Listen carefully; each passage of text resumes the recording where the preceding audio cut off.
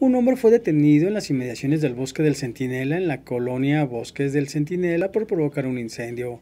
Personal de la Policía Municipal informó que bomberos forestales manifestaron que cuando combatían un incendio junto con más brigadistas, aseguraron a un masculino, solicitando apoyo de esa comisaría.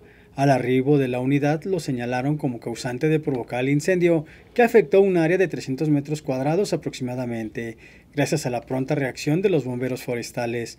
El sujeto dijo tener 23 años y fue puesto a disposición de un agente del Ministerio Público.